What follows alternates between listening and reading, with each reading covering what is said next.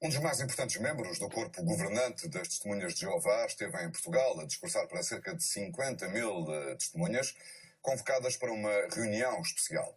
Sem nunca se referir diretamente à TVI e à reportagem Na Sombra do Pecado, David Splain falou das reportagens negativas para a organização e daquilo que considera ser um mau jornalismo, que prefere ouvir apenas uma das partes, lançando o que diz serem calúnias sobre a organização que não se pôde defender. A TVI afirma que Battle foi contactado várias vezes por mail e presencialmente durante e após a reportagem, como aconteceu de resto ainda hoje. É um dos mais importantes membros do corpo governante das Testemunhas de Jeová. David Splain veio dos Estados Unidos para falar durante mais de uma hora para uma plateia de cerca de 50 mil testemunhas. As cerca de 600 congregações existentes no país ouviram em direto, a partir do Salão de Assembleias de Carnachide, falar sobre aquilo que considera ser reportagens negativas para a organização. Except uh, the one side of the story that he has heard, and he won't bother to check the facts. Why? Because there are always two sides to a story. Slanderous, negative remarks that people were making about Jehovah's Witnesses, and Jehovah's Witnesses weren't there to defend themselves. As acusações continuaram no mesmo tom e sempre com o mesmo foco.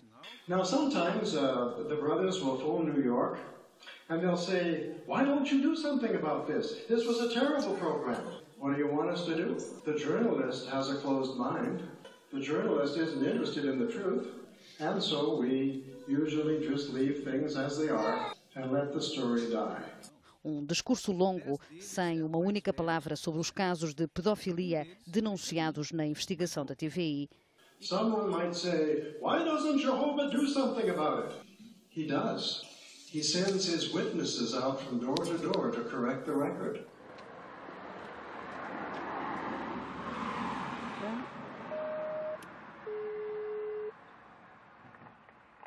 Bom dia.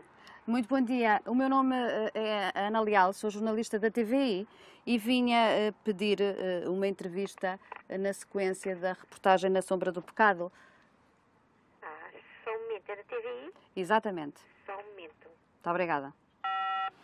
E mais uma vez, a resposta foi: não temos nada a acrescentar, dito lá dentro por Pedro Candeias, membro da comissão da filial. O que, por outro lado, o Sr. Splain não mencionou no seu discurso foram os inúmeros mails que enviamos e eu própria desloquei-me aqui várias vezes. E hoje filo mais uma vez, em vão, porque a verdade é que nunca houve vontade em participarem nesta reportagem, nem tampouco responderem às denúncias da TVI, nomeadamente sobre os casos de pedofilia. Uma investigação baseada em factos, em documentos escritos pela própria organização e, por isso, difíceis de rebater.